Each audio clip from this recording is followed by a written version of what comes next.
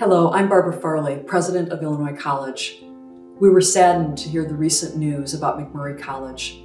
Since the 1800s, MacMurray and Illinois College have served as pillars of the Jacksonville community. MacMurray has long been a respected partner and valued neighbor. We recognize that this is a difficult moment for MacMurray students as you consider options to continue your education. More than anything, we want you to know that you are welcome at IC. Our admissions team is ready to answer any questions you have. They will discuss options about how you can continue to prepare to graduate ready.